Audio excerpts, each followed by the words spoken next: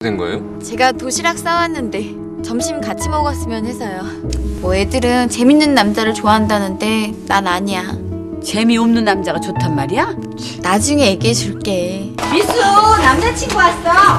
고개 좀 돌려봐라 기 좀 보자 네가 한 번만 더 고개를 숙여라. 한 번만 더. 저희가 저한테 양보할 수 있는 마지막이 여기예요. 사람 마음이 맨날 똑같니?